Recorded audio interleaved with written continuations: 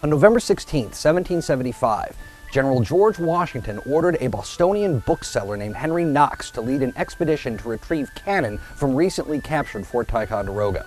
Knox, whose commission as a colonel of artillery had not yet arrived, was also given an expense requisition of $1,000 in colonial currency.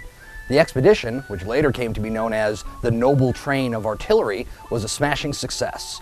Knox successfully retrieved 59 pieces of artillery weighing an estimated 60 tons.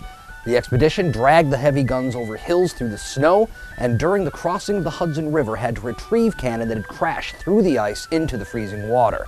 The cannon that Knox retrieved formed the backbone of Washington's artillery and began their service by driving the British from Boston from atop Dorchester Heights. This Day in History brought to you by the Freedom Trail Foundation, partnered with the Massachusetts Teachers Association to bring history to life.